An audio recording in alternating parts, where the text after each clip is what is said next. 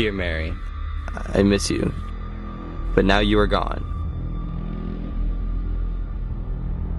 well, I guess this is goodbye for now. I miss you.